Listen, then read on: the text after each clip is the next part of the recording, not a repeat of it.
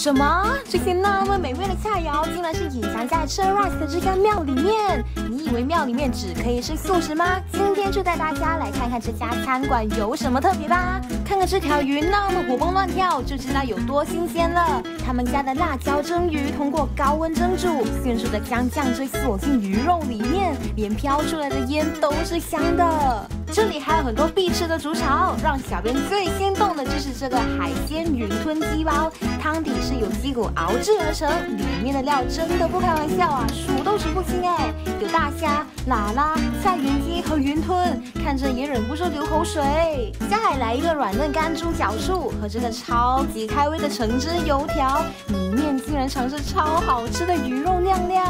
这里每道菜都很下饭呐，光是这个辣椒蒸鱼就可以。干完一碗饭了，真的会让你一口接一口的停不下来吃，一个字绝！看看我们的小编吃的多么开心，吃过都会给赞。